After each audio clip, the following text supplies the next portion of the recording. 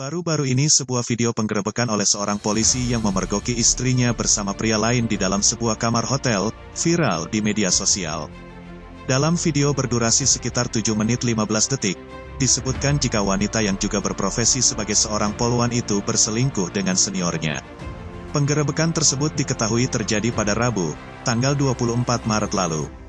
Detik-detik penggerebekan pun terekam dalam video dan menjadi viral. Dalam video yang dibagikan disebutkan jika seorang anggota polisi bernama Brigadir Muhammad Doni melakukan penggerebekan terhadap istrinya diduga tengah berselingkuh dengan pria yang juga polisi. Saat dipergoki, Brigadir Doni sempat terlibat cekcok dengan sang istri di depan pintu kamar hotel. Keduanya yang berdiri berhadapan itu terlihat memanas beradu argumen serta saling tarik-menarik.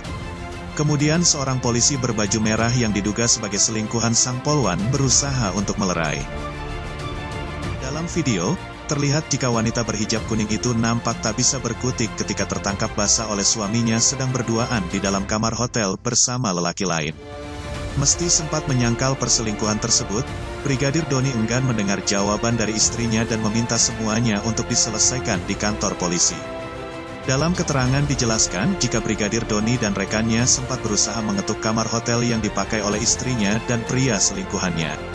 Namun, keduanya enggan membukakan pintu. Hingga akhirnya Brigadir Doni meminta bantuan dari anggota Intelbom Satbrimob Polda Jateng untuk meminta bakuk dalam penggerebekan kamar tersebut.